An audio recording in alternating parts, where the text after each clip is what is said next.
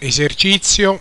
Un carrello sale su per un piano inclinato, inizialmente in posizione A con una molla compressa, la molla lo spinge e giunge fino al punto C, dopodiché torna indietro. Lungo il piano inclinato è disposta una riga millimetrata che parte da 0, in posizione A eh, siamo a 10 cm, in posizione C 25 cm, la posizione B è la posizione di riposo della molla, 15 cm. Dunque molla compressa 10 cm, molla riposo 15 cm, massima distanza raggiunta sul piano 25 cm. Conosciamo la massa del carrello 2 kg, l'angolo alla base del piano 30 gradi e il coefficiente d'attrito dinamico 0,20. Le domande sono eh, la tabella solita da eh, riempire con tutti i valori numerici, con le varie forme di energia nelle varie posizioni ABC, l'analisi delle varie trasformazioni di energia, il lavoro che fa la molla sul carrello mentre lo spinge da A a B, la costante elastica della molla e la massima velocità del carrello che capiamo è la velocità nel punto B, cioè al termine della spinta della molla. Dopodiché il carrello rallenta sia perché c'è l'attrito sia perché sale lungo il piano. Cominciamo con la tabella, le tre posizioni ricordano il modo del carrello, quindi ABC, e, e sulle righe le forme di energia cinetica, gravitazionale, elastica e, e la somma di tutte e tre l'energia meccanica. Diciamo subito che l'energia meccanica non si conserva, dopo vedremo anche i valori numerici, perché c'è l'attrito, che trasforma l'energia meccanica in parte in calore, cioè energia termica. Cominciamo a sistemare gli zeri nella tabella. Eh, la riga dell'energia cinetica mettiamo lo 0 in A e in C perché il carrello parte da fermo e, e si ferma anche nel punto C. Sulla riga dell'energia gravitazionale non mettiamo mai lo 0 perché il carrello ha sempre una certa altezza, HA, HB e HC. Il livello 0 lo prendiamo rispetto alla base del piano.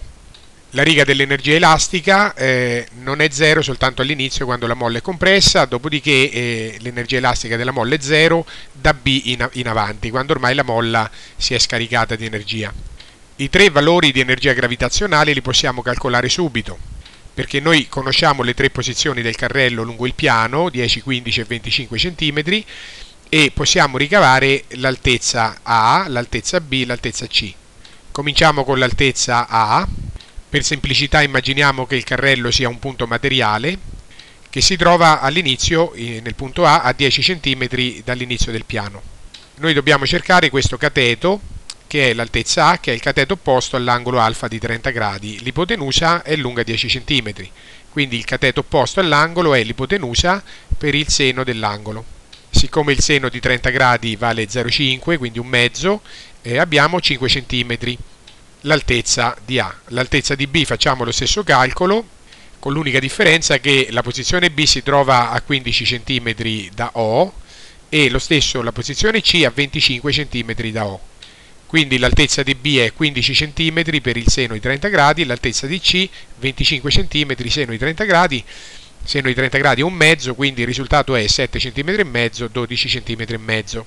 Avendo calcolato le tre altezze HA, HB e HC, possiamo calcolare le tre energie gravitazionali in A, in B e in C. MGHA eh, uguale mg sarebbe il peso del carrello, il carrello ha la massa di 2 kg, quindi pesa 19,6 N. Quindi mg peso del carrello per 5 cm 0,05 metri. Risultato 0,98 N per metro joule.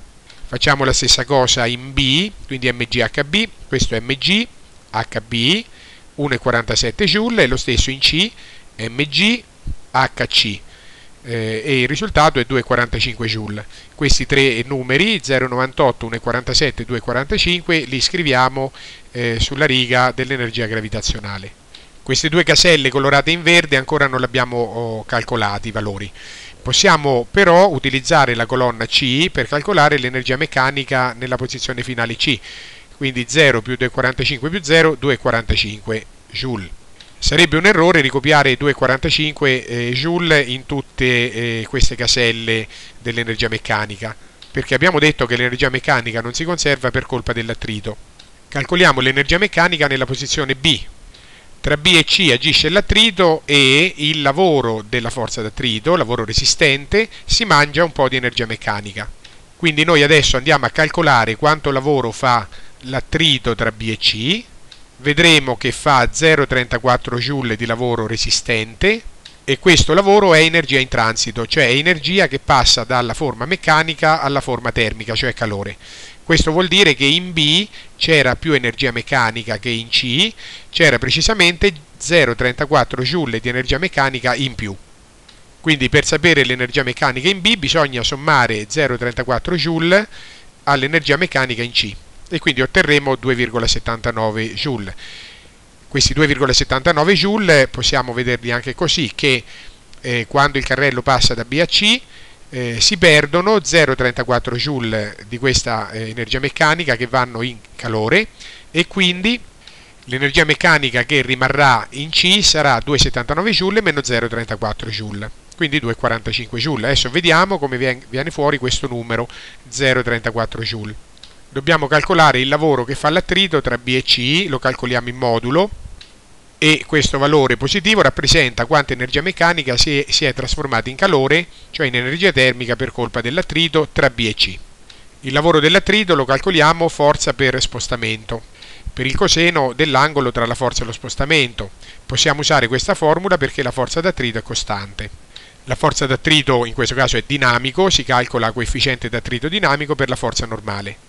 La forza normale è la forza che schiaccia il carrello contro il piano inclinato e in questo caso è la forza peso perpendicolare.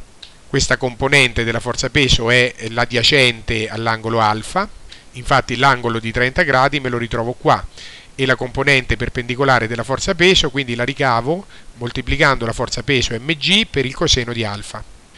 Quindi forza normale, forza peso perpendicolare, mg coseno di alfa, 19,6 N è la forza peso, coseno di 30 gradi fa 17 N. Questa quindi è la forza normale, Fn che io devo moltiplicare per il coefficiente d'attrito dinamico e così trovo la forza d'attrito. Eh, coefficiente d'attrito dinamico per la forza normale 3,4 N.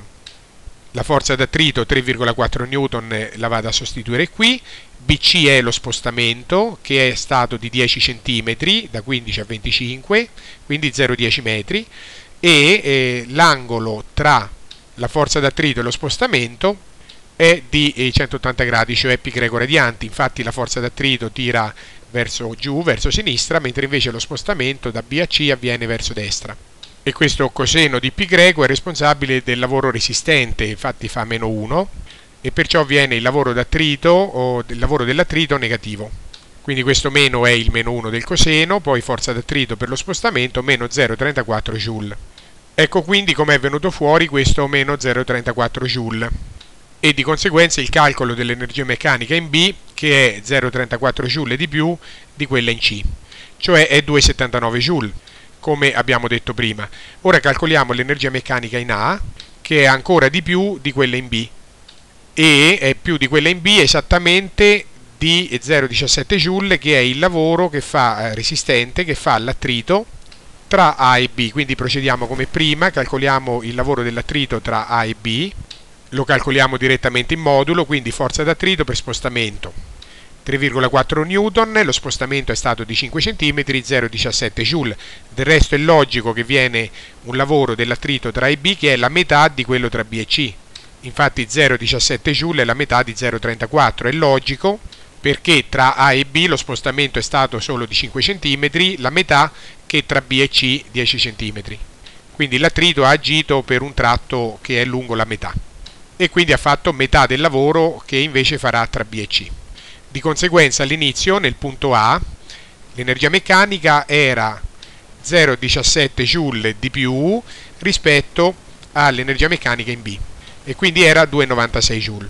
Dunque rileggiamo al dritto eh, l'ultima riga dell'energia meccanica, abbiamo 2,96 joule in A, in questo punto, lo vediamo meglio qui, quindi 2,96 joule in A, poi tra A e B l'attrito fa 0,17 joule di lavoro resistente, quindi l'energia meccanica cala di 0,17 joule, 2,79 joule in B, tra B e C il lavoro dell'attrito è di 0,34 joule, quindi l'energia meccanica cala di altri 0,34 joule e si porta a 2,45 joule. Ora che abbiamo riempito l'ultima riga, mancano queste due caselle colorate in verde, le troviamo subito per differenza. 2,79 joule meno 1,47 ci dà 1,32 joule che è l'energia cinetica del carrello in B, quindi in questo momento, e sempre per differenza 2,96 joule meno 0,98 eh, joule abbiamo 1,98 joule che è l'energia elastica della molla compressa in A.